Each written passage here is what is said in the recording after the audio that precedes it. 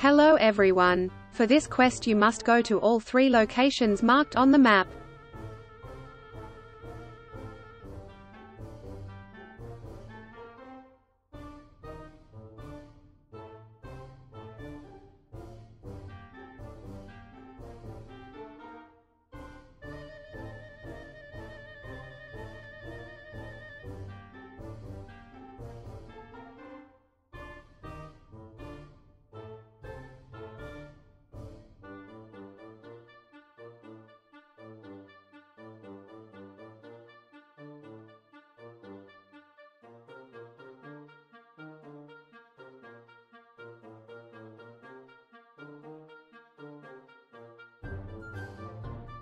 It would make more sense if I entered the new game instead of doing this.